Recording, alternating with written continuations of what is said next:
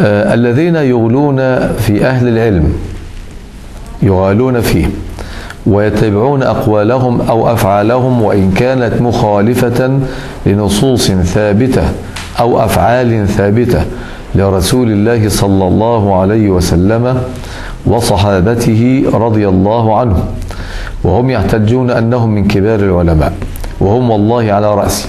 ولكن لا يوجد أحد من أهل العلم وإن على شأن ومكانته في الميزان مع الصحابة الكرام.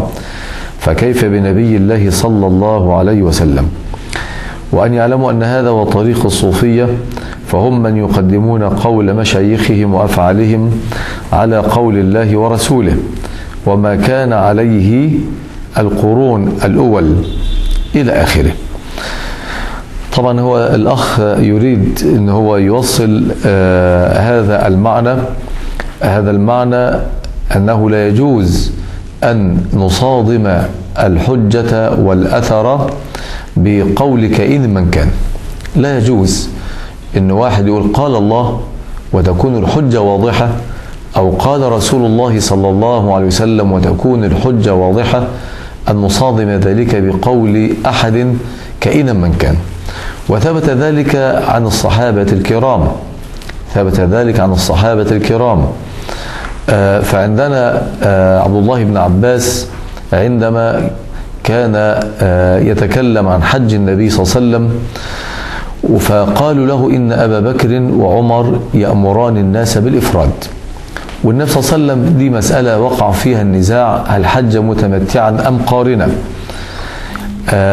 فقال عبد الله ابن عباس رضي الله تعالى عنه يوشك أن تنزل عليكم حجارة من السماء أو يصيبكم عذاب أليم. أقول قال رسول الله. وتقولون قال أبو بكر أو قال عمر.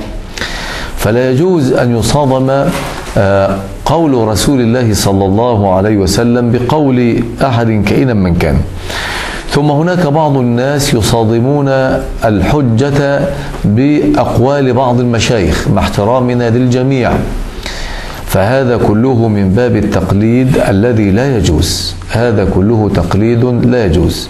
وهو يؤدي إلى العصبية المذهبية المقيتة التي ينبغي أن نتبرأ منها وأن يعني نجتنبها.